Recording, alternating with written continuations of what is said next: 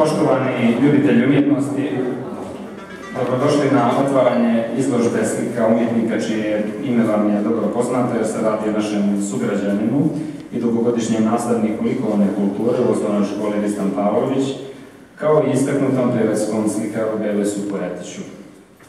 Na početku bih istakao da je ovo veoma posebna umjetnička izložba, jer u pitanju prva samostalna izložba ovog umjetnika. Posebnu radost mi pričinjava činjenica da otvaram izložbu svog nastavnika likovne kulture, od kojeg sam primio prve ozbiljnije sugestije i korekture u svojem stvaralaštvu e, koje se tek naziralo i u čijem je razvoju ostavio traga upravo Beres.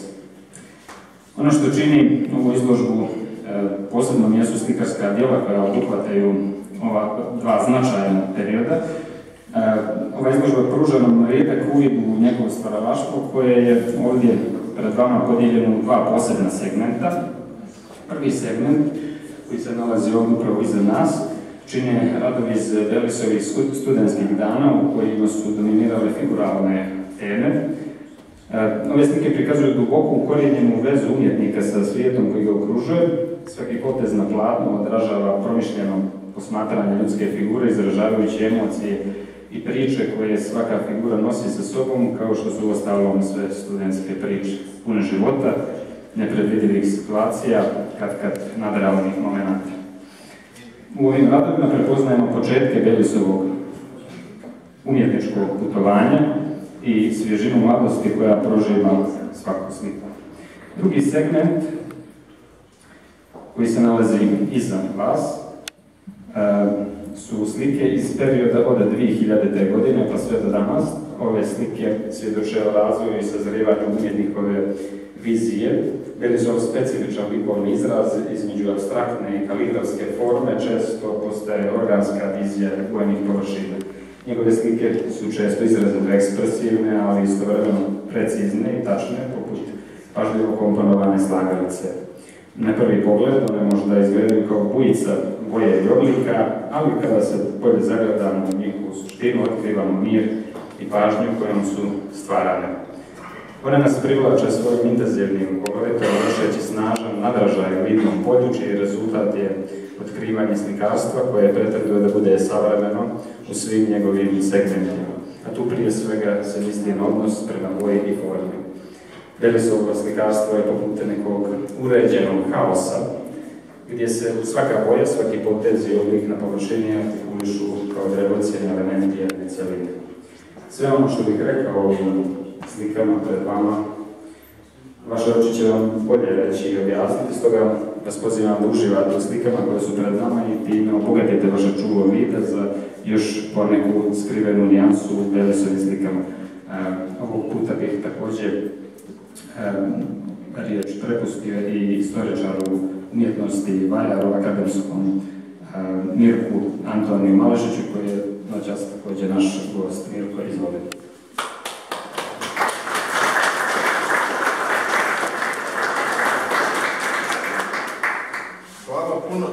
prijatelji,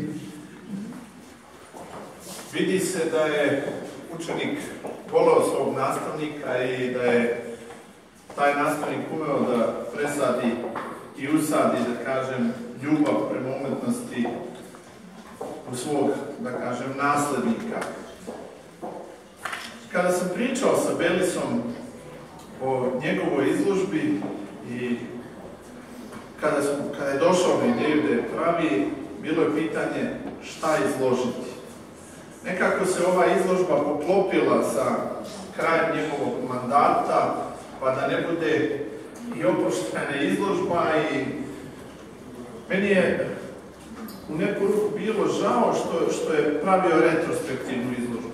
Mislim da, bez obzira što završava, da kažem, jedan ciklus svog života, mislim da je Belis taj koji će nam dati još mnogo dobrih radova. Ko poznaje Belisa, mislim da može reći da je njegov karakter kao ove njegove slike ispred vas. Nisam siguran da, da je ovakav kao što su, kao što je u studentskim danima, mada ovdje prepoznajem neke ljude na ovaj, tim radovima, jer lično ih poznajem, ali prosto možda i nije loše što su stavljeni ovdje. Imate dobar primjer kako jedan slikar može da, šta znači jedna slikarska evolucija, kako jedan slikar studenta od talenta sirovog dođe do na kraju promišljenog rada. iako se družim sa Belisom, pa Boga mi već ima jedno deset, možda i više godina, jel tako, nisam bio upućen da kažem, vidio sam segmente njegovog rada, ali nikad ovako u jednoj celini. Jedan zanimljivi i, prosto ja ovako, kao što su ovi njegovi radovi vesele boje, ja tako i doživljavam Belisa kao čovjeka, jednog veselog čovjeka koji stigne i tu i tamo.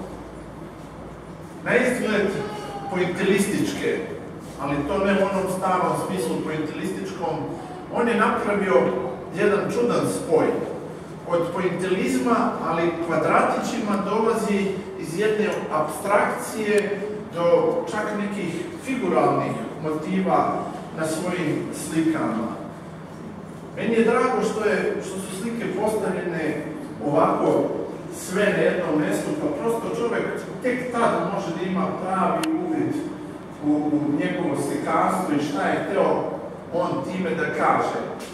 Mislim da je izgradio kompletan svoj jezik, mislim da ove slike održavaju upravo njegov duh i samo se nadam, pošto obično slikari pred kraj rada prave retrospektivne izložbe, ja se nadam, pošto, kako reče direktor, ovo je njegova prva veća samostalna izložba, da ovo nije i da kažem posljednja njegova izložba, nego da će ih biti još.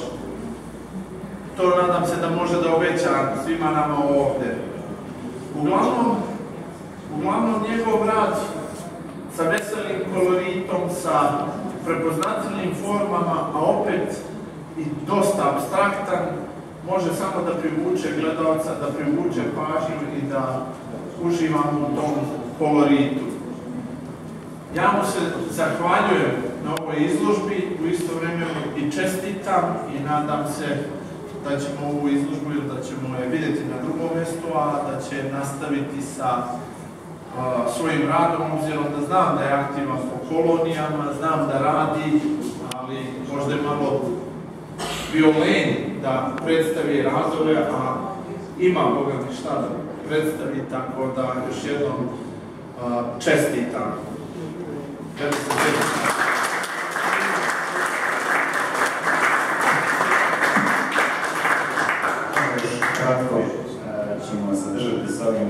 Što je Delis do sada bio u ulozi ljudi koji su otvarali izložbe ovog puta bi volio da nam se on obrati kao autor hrvatskoj publici, pošto je ovo ne njegova prva samostalna izložba, što je jako specifično, tako, s obzirom na veliki broj dijela i na brojnim kolonijima kojima je bio i ovoliko prije svega slika koje posjeduje, je to prva njegova samostalna izložba, pa bih eto volio da nas umjetnik tom prilikom kratko obrati.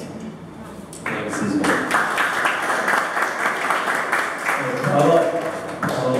Svaki čovjek je dužan svom zavičaju i ja sam sve bio zacrtala da napravim ovakvu jednu izložbu gdje ću da predstavim sve svoje radove, a naravno svaki od ovih segmenata koje su ovaj, moji prethodni govornici, zaslužuje da se posebno obradi i da se predstavi kao posebna jedna izložba.